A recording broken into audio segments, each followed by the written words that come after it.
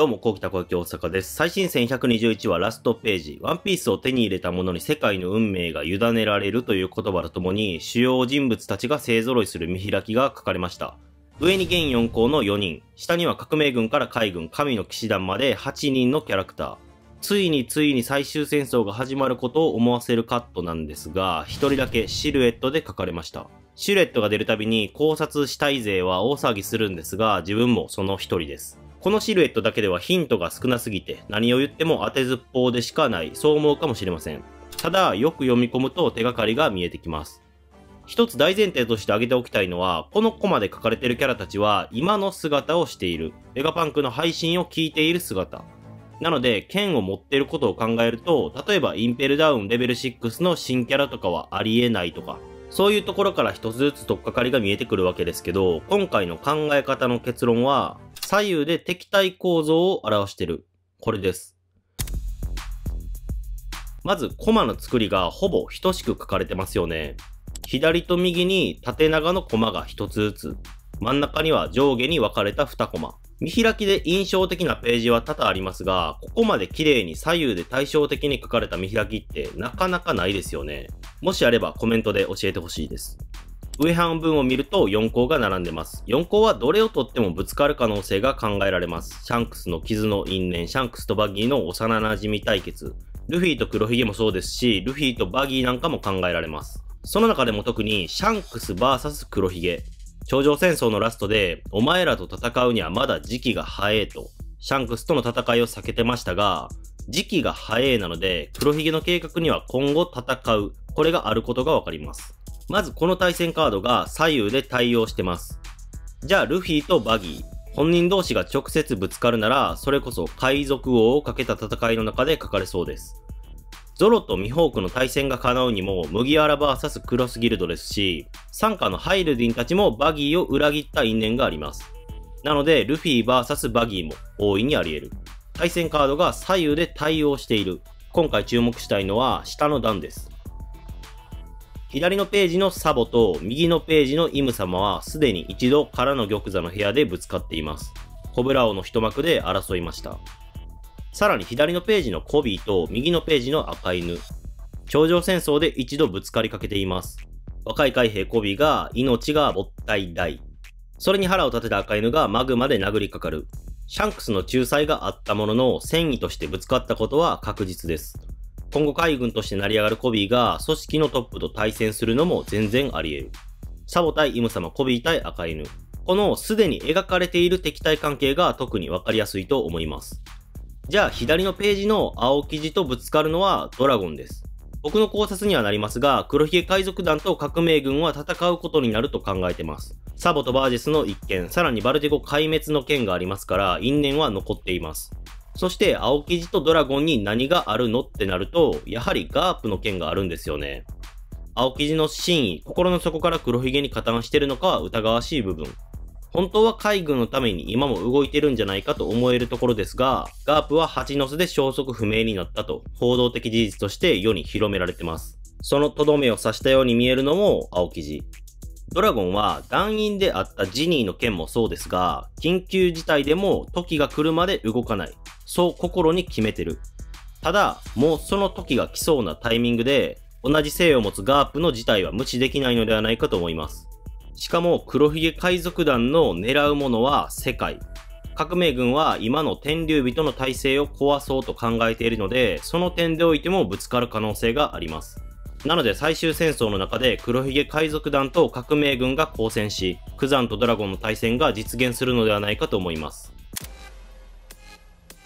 そして左のページ真ん中の下にいるのは神の騎士団のガーリング星。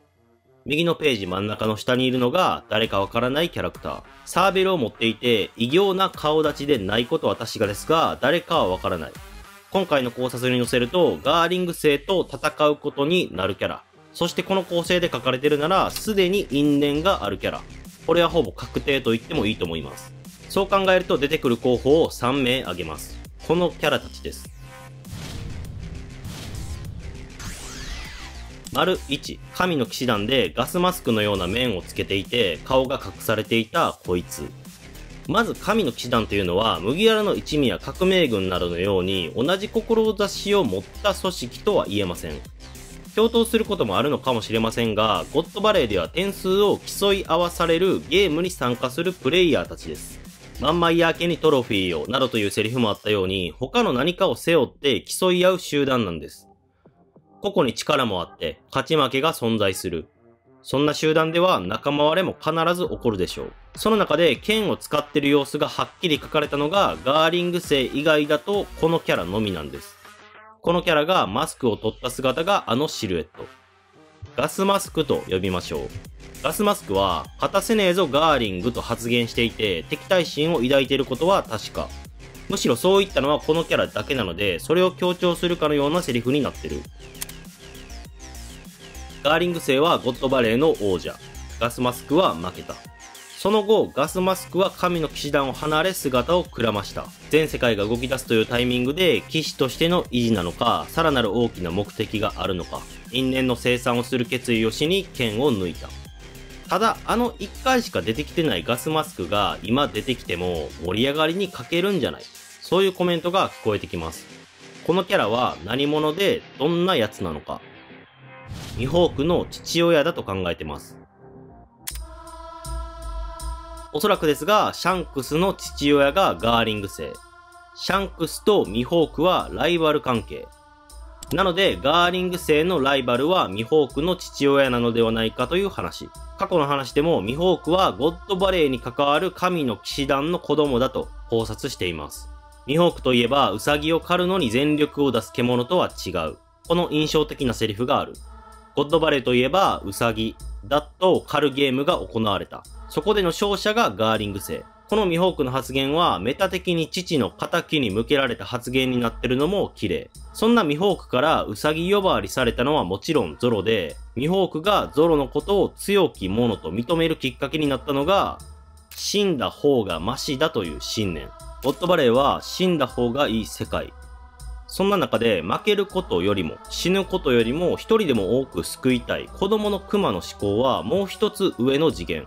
ミホークがウサギのゾロに感銘を受けたように、ミホークの父親はウサギ、ダットのクマに感銘を受けた。ガーリング星がゴミをかばうやつはそれ以下だと発言していましたが、ミホークの父親は実際戦場でサターンに追い詰められてるクマ。つまりその場におけるゴミをかばったんじゃないでしょうか。ドーンという黒い稲妻を伴う轟音は、ミホークの父親とサターンの衝突。そしてその後、クマが逃がした500人の中に、ミホークの父親は含まれてたのかもしれません。そう考えると、回り回ってこのシーンで2人が人を救うために命を懸けてるところが違う見方になってくるんですよね。確認しておきたいのは数少ないヒントである利き手。ガスマスクはパッと見右手で剣を持っているように見えますが、よく見るとその手前にも剣があります。この時は光線前で敵と剣を交えている状態ではない。なのでおそらく二刀流。利き手は絞れません。少なくとも絶対に右利きだとは言い切れないキャラです。ゾロの夢を考えても手がかりがあります。正直カイドウに傷をつけられてて、キングも倒してナスジローとも渡り合ってる今のゾロがミホークに勝てるのは想像がついてしまいます。なんなら読者はロジャーレベルの剣士も見ているわけで、そのレベルに勝たずして世界一の大剣豪を名乗るのはどうなのかという疑問が残ります。ミホーク自身も言ってるんです。海賊王はこの俺を超えることよりも険しい。なので、ミホークを超えた先に、さらに強いロジャーレベルの剣士、ミホークの父親という裏ボスがいる展開。ここにも繋がるように登場するキャラなんじゃないでしょうか。ワンピースで毒ガスといえばクリークが使ったのが最初で、ガスマスクといえばバラティエ編のキーワード。ミホークの初登場もバラティエ編で、ミホークとガスマスクの関わりも、小田先生の中では意図的に繋げられてるのかもしれません。ワンピースで利き手というのはまちまちなことも多くて、そこまで全キャラが丁寧に描かれてる印象もないんですが、その利き手という部分に最も注意を払って考えるなら、最終章のカードとして激アツなのが、ロックス D ジーベックです。二人目の候補、ロックス。ロックスが剣を持ってる姿は2回描かれていて、そのうち2回とも左で持っています。描き間違いとは思えない左利きの剣士として当てはまります。ゴッドバレーの全容は語られていませんが、ガーリング聖と因縁があってもおかしくなくて、役者として十分のインパクトがあります。もちろん、すでにこの世にはおらんがと説明されましたが、ヨミヨミの実なんかも存在するように、何らかの能力や、政府の目をくらます行動で生き延び出た可能性は十分にあります。3人目はヒグマ、左手で剣を持つ剣士。1話から登場していて、シャンクスとも、えー、ないです。